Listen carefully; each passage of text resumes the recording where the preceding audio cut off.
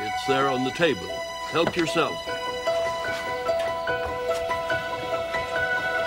I opened it with eagerness and read its title page.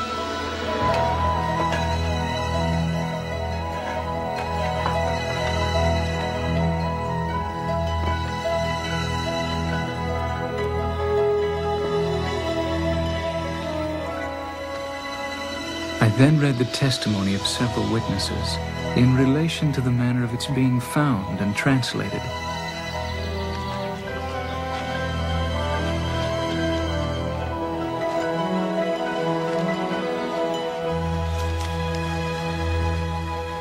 I commenced its contents by course. I read all day.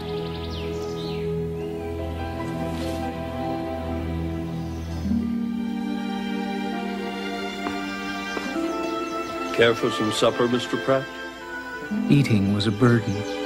I had no desire for food. Sleep was a burden when the night came, for I preferred reading to sleep.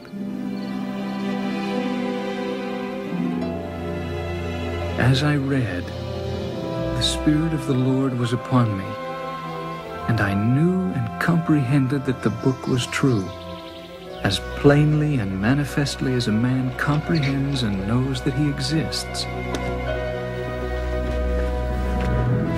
Do you know what's in this book? I haven't been able to hold on to it long enough to find out. I don't know how to thank you. My joy was now full, and I rejoiced sufficiently to more than pay me for all the sorrows, sacrifices, and toils of my life. I'm on my way to Palmyra. My book. I soon determined to see the young man who had been the instrument of its discovery and translation. I accordingly visited the village of Palmyra and inquired for the residence of a Mr. Joseph Smith. Thank you very much. I found it some two or three miles from the village, near the close of day.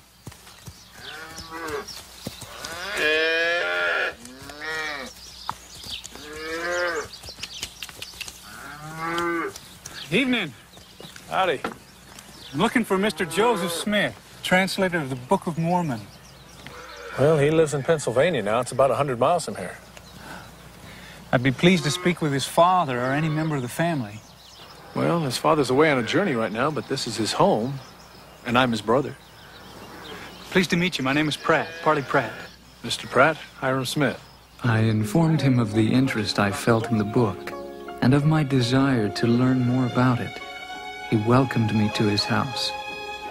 And since neither of us felt disposed to sleep, we conversed most of the night.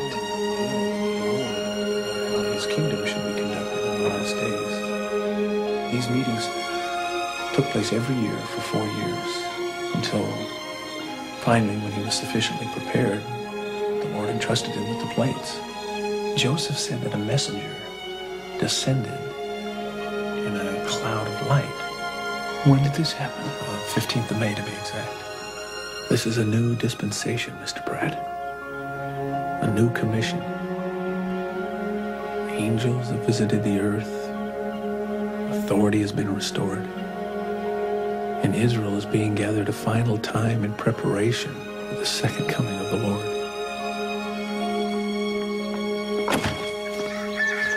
How far to your next appointment? About 30 miles. But I'll return when it's finished. Well, please do. We'd be glad to have you. Uh, could you use this? Please, take it. It's a token of our friendship. Thank you. You're welcome. Have a safe trip.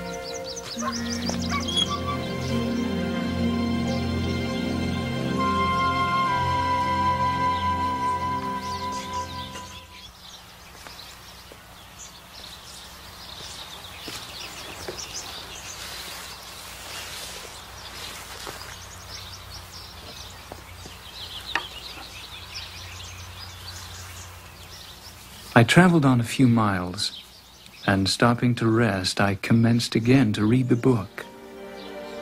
To my great joy, I found that Jesus Christ, in his glorified resurrected body, had appeared to the ancient inhabitants of the American continent, that he had taught them his gospel and healed their sick, and that many of his teachings had been preserved here, in this book, in purity. I esteemed this book, or the information contained in it, more than all the riches of the world. Yes, I verily believe that I would not at that time have exchanged the knowledge I then possessed for a legal title to all the beautiful farms, houses, villages, and property which passed in review before me on my journey through one of the most flourishing settlements of western New York. Such was the Book of Mormon.